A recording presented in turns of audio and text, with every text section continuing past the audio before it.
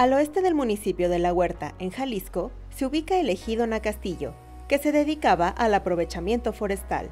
En el año 2012 se realizó un estudio técnico en el que se determinó que es un área de conservación con alta diversidad biológica por contar con especies sombrillas, como el puma y el jaguar, que requieren una gran extensión territorial para subsistir. Por lo anterior, y apoyados por el programa de pago por servicios ambientales, ahora se dedican a realizar acciones que ayuden a conservar la biodiversidad del ejido. Para iniciar, conformaron una brigada de prevención de incendios forestales que construye y da mantenimiento a brechas cortafuego, realiza líneas negras y conserva los caminos forestales. También desarrollan acciones de restauración forestal, como presas de piedra acomodada para evitar la erosión del suelo. Asimismo, instalaron comedores para auxiliar a la fauna silvestre durante la temporada de lluvias.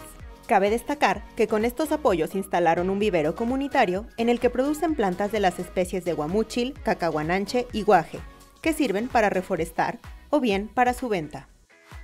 Con estas acciones, aseguran la provisión de servicios ambientales que brindan bienestar a la comunidad.